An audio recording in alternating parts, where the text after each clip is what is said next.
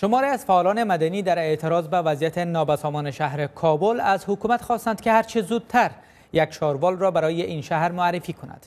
این فعالان مدنی که با حرکات نمادین از جاده های شهر زباله ها را گردآوری کردند امروز گفتند که شاروالی کابل به بهانه های مختلف از مردم پول جمع آوری می کند اما طرز خدمات آن قابل قبول نیست این فعالان مدنی از فساد گسترده در شاروالی ها یاد کردند و از حکومت خواستند تا درآمدها و بودجه های شاروالی ها را به مردم به گونه دقیق اعلان کند. اعتراض کنندگان در اخیر با پخش قطعنامه هشدار دادند که در صورت بهبود نیافتن خدمات شاروالی ها مالیات نخواهند پرداخت و از مردم هم خواستند که از پرداخت مالیه ابا ورزند.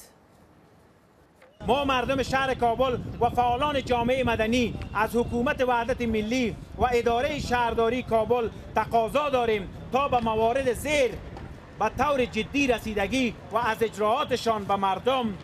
اطمینان دهند. در غیر آن اقدام به نافرمانی های مدنی نموده و اعتراضات قانونی خود را ادامه می دهیم یک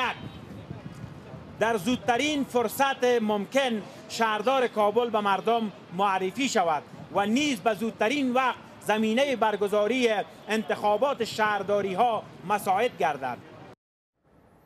این تعداد از فعالان مدنی در حال از وضعیت نابسامان شهر کابل اظهار نگرانی نمودند که از آغاز کار حکومت وحدت ملی شاروالی کابل از سوی سرپرست اداره می شود.